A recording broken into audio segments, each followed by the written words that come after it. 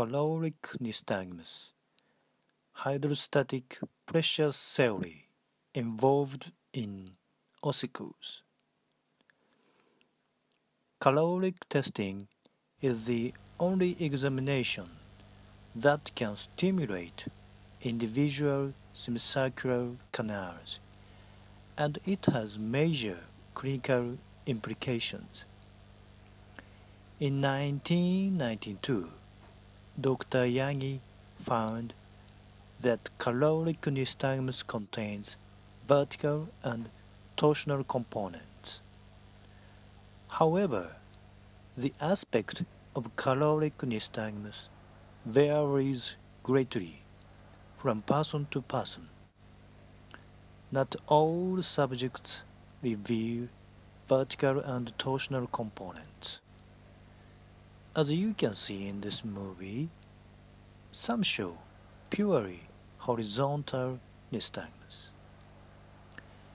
It has been clear that neither posterior nor superior canal receives a caloric effect. Thus, caloric nystagmus is a pure horizontal canal ocular reflex. One of the characteristics of caloric nystagmus is a persistent reaction. In the case that the response is good, it continues for more than 3 minutes. Decay is very slow, and strong nystagmus continues for more than 1 minute.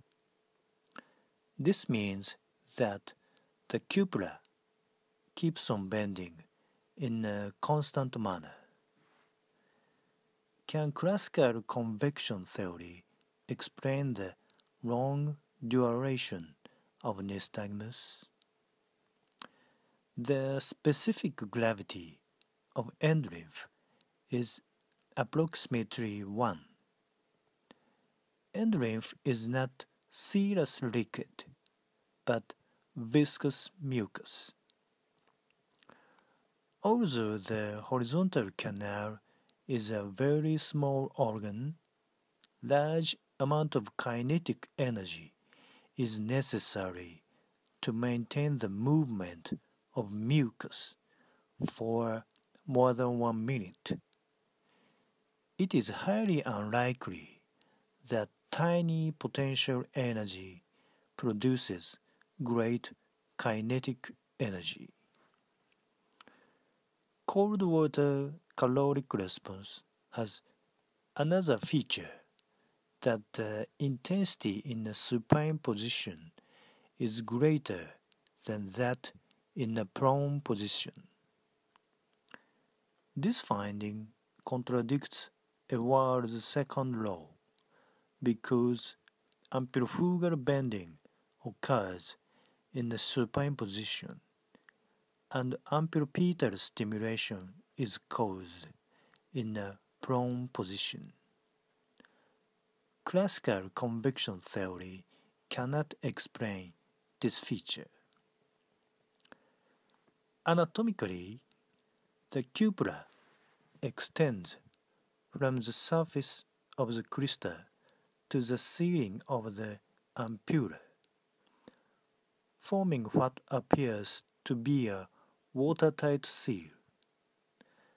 We do not agree with the supposition that the cupula keeps on bending like a swinging door for more than one minute. In animal experiments, Dr. Otsuka reported that the cupula moves like a diaphragm when the compression is weak. Instead of classical convection theory, Ichijo proposed the hydrostatic pressure theory in relation to ossicles. When the tympanic membrane is chilled, the malleus and incus are chilled first because air has difficulty conducting heat. This behavior is applied to a down jacket or residential insulation. The thermal conductivity of bone is much greater than that of the air. Ossicles act like air conditioner in summer and chill a part of the endolymph in the long arm of the horizontal canal because membranous canal is in contact with the bone. The chilled endolymph plays a role like the piston of a syringe because the diameter of the long arm is only 0.3 mm. The force F1 arises in the direction of gravity because objects contract when they cool and increase in intensity. It is clear that the cross-sectional area of the ampulla is 15 times as wide as the cross-sectional area of the long arm.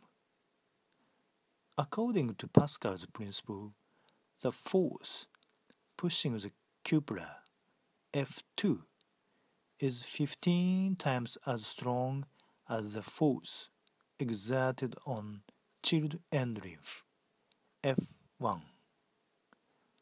Pascal's principle states that when additional pressure is exerted on a confined liquid, the pressure is transmitted equally to all parts of the liquid.